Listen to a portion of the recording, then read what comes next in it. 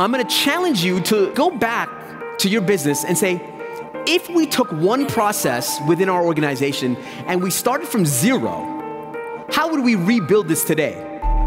What would we automate? What would we eliminate? What requires more humanity? And when you start from zero, you don't get a 10% improvement, you actually get a 10x improvement. Let me give you an example of this. A couple of weeks ago, I was in Colombia. I was sitting at, the, at, at, lunch with the CEO of a marketing company. And she said to me, Shawn, you talked about this idea of starting from zero. How would I do this in a marketing company? I said, well, the way that you used to do a marketing campaign, you would get your teams together, you would plan, you would strategize, you would figure out what the creative assets might look like, you would do pre-production, production, and post-production, and then you get your teams together and coordinate and put out the good things in the world. That's the old way of doing that. And in the new way, what I would do in an agentic world is I would tell everybody on the team to come up with the final output, the final deliverable, the final landing page, the copy, the assets, the film, whatever. Prompt together what the final thing is gonna look like. Because when everyone can see the vision 10 times more clearly, they can execute 10 times faster and easier and better. That's not a 10% improvement, that's a 10x improvement. That's what starting from zero really is all about. Please join me in welcoming Shawn Kanungo to the stage.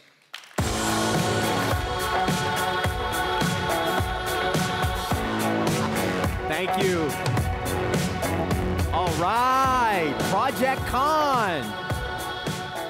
Well, I'm super excited to be here today talking to you about my favorite subject around innovation and AI. You know, a lot of people ask me this question, which is, you know, what is the future of technology really gonna look like, Shawn? What is the future of AI really gonna look like for us? Like, are we gonna have everything at our fingertips? Are we gonna be sitting on a beach with a margarita so the agents do all our work? What, what is the future really gonna look like? And I always tell people that the future of technology is um, Kelly Rowland. Let me explain, okay? Kelly Rowland uh, was a singer in Destiny's Child, and let me explain this story to you as to why she's the future of technology. Okay, in 2002, there was a music video with Nelly and Kelly. It was called Dilemma, okay? And in that music video, Kelly Rowland was seen texting Nelly using Microsoft Excel. And of course, she was mad that Nelly wasn't texting back because it was on Excel. But this became a huge meme for the last number of decades. And I, this has been my Roman Empire. I've been following this story for decades, okay? And a number of years ago, Kelly Rowland was on a talk show trying to explain what this incident was all about, and this is what she said. Here's okay. the stitch, okay? Explain it. I don't know what that is. I don't know what Microsoft Excel is. I, I don't know. I don't have a clue, so. And after I watched that, I thought to myself, God damn, she's had a good life. she's never heard of Microsoft Excel? What a, what a privilege. And for the longest time, like for the last number of years, I thought that Kelly Rowland had the best life in the world up until last month, up until October 2025 when she was part of another conversation and I just realized that someone else had a better life than her. So let me show you the conversation. I don't know whose brilliant idea it was to text on Microsoft Excel, but it chases me everywhere that I go and everybody's always asking me, why were you? I said, I don't, I don't know. know. I was given the device. It had this on it. And uh-huh. here we are in the video. They're like, oh, we need a shot of it. I was like, okay. I guess this is right. and here we are, 25 years later. Why are you texting them? Man, I don't know. I don't know. I don't know.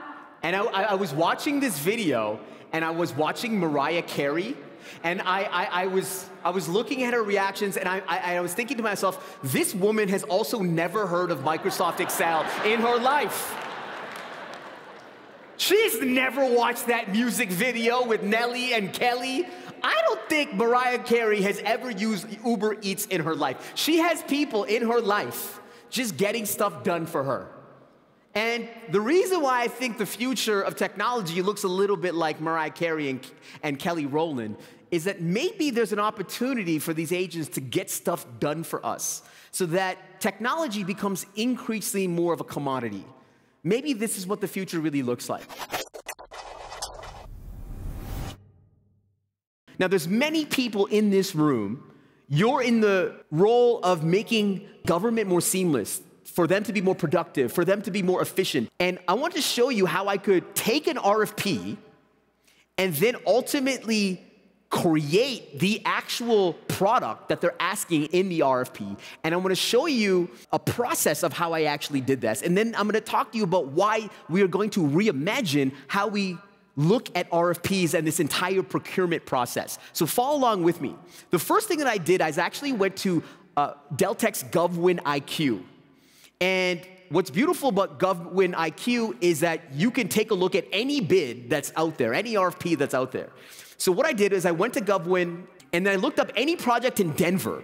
And so I found this project in Denver which was the Economic Development Group. It was modernization of Colorado Future Jobs website. And what's beautiful about GovWin, it actually creates a smart summary for you. So you don't have to read the RFP. You can get a quick synopsis of this. And by the way, they also provide you a AI written proposal outline for you. So incredible, incredible starting point. And this is the actual website, by the way, of the Colorado Jobs website. This is the existing website.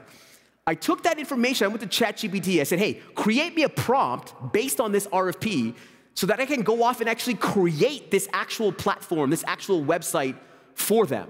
So uh, ChatGPT created a prompt based on the RFP, and then I took the prompt, I copied and pasted that prompt, and I went to a tool called Lovable. Lovable is a tool where you can create almost any platform app application um, at your fingertips and what's beautiful about these tools, they're getting more agentic over time. So not only can they create the front end capabilities, but they can also create some of the back end capabilities right there for you. And you could take a look at this platform.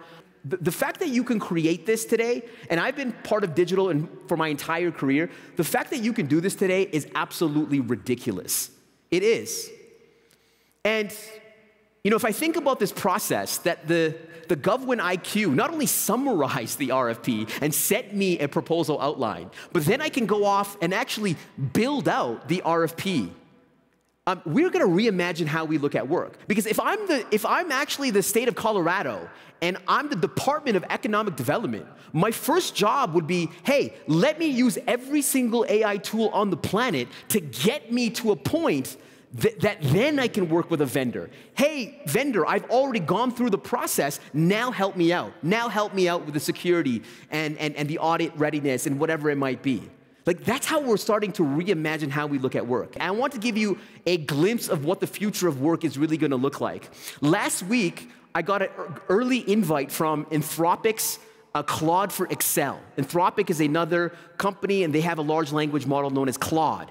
And you know, OpenAI and Claude have always been able to build an Excel, but now Claude is actually in the Excel. And this, to me, is a glimpse of what the future of work is really gonna look like that you're gonna have an AI in your applications and helping you out throughout every single point. So let me show you an example of this. I went to Claude and I said, hey, uh, first thing I did is I, I want to create some data. So I went to Claude, I said, hey, create me a synthetic data file of a project, of a typical project controller, and make sure that it's 50,000 lines deep. So I created a synthetic data file. And once I had this data file, I, I clicked on Claude for Excel. You can see it on the top right hand side. And what's beautiful about Claude for Excel is that now you have an assistant beside you that can help you actually in the actual Excel. This is what a glimpse of the future of work really looks like that AI is beside you along the way with every single application that you have. And what we're starting to do with AI is that we are reimagining everything that we know about work. We are reimagining everything that we know about how we do our processes internally. My father used to be an accountant. And I remember, that's my father, Deepak Kanungo. When I was a kid, before we had a computer, he would have these black ledger books where he would put his accounting information in. And then when the computer came out and Excel came out, he put his information in there. And then when accounting software came out, he put his information in there. And I remember when my father passed away in 2008, I had to take over his business. And I remember walking into his business and being baffled in 2008 how much paper there still was. He had filing cabinets and he had all this paper. And the first thing that I did was I bought an OCR machine to digitize all that paper. But what I realized over the last four decades of technology, what we have done is all we have done is created an elegant way of storing, retrieving, and collecting data into a system of record. That's all we've done. This revolution is different because for the first time in human history, now we have a system of intelligence. Now, this software can actually get stuff done that my father was never able to do. My father was never able to do a 24 7 reconciliation of receipts and invoices, a 24 7 daily audit. He could never do that. No human could ever do that. And so agents can do work that we were never able to do. And I think that's where the power of agents um, uh, come to play. You know, it's interesting. I, I tell you this story, but this is exactly actually how this, th this company started. The reason why we are here at ProjectCon is because of this company, Deltek. Deltek started in 1983. Two founders, a father and a son, Donald and Kenneth. They found this idea that they could help contractors with their government work. So they literally went to Sears and they bought an IBM because that was the revolution at the time. And they said, you know what? We can help people and make this more efficient. That's how we got here. And now this company is trying to reinvent and reimagine themselves because of AI. And I think that this is what every organization should be doing, which is figuring out how do we develop AI systems internally so that we are an AI powered organization. The first AI artist her name is Xania Monet, made it to the Billboard charts, airplay charts. I'm gonna play you a, a, a small version of this song. You can hear it now. He didn't walk me down no stairs. Didn't warn me about them boys who wouldn't care. So from the beginning, I go into Suno. Suno, okay, that's I, the music app. Correct. Okay. Suno is the music app. I scroll through my list of poems or what I wrote to see what I want to make a song about. Got it. And I just take those lyrics, just go in and paste a sample, style, slow tempo, R&B. So you're saying I want slow tempo R&B. Okay. She adds a few more prompts into AI music generator Suno, like female, soulful vocals, light guitar, and heavy drums. And from there, you just create.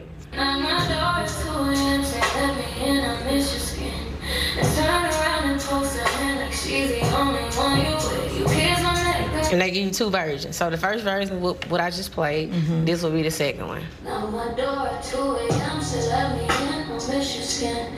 Then turn around and there's definitely a difference between the right. two. And yeah. definitely, sometimes I'm doing this for hundreds of songs. Really? Until I get the one that I feel like sounds right. So if they give you two options and you don't like it, you keep going back? Right. I press create again. Create again. And you see two more come up. The, the thing that I was impressed by is that this woman in Mississippi just learned AI four months ago, and she created a song that can be on the Billboard charts. To me, that's actually pretty impressive. And how democratized this technology really is.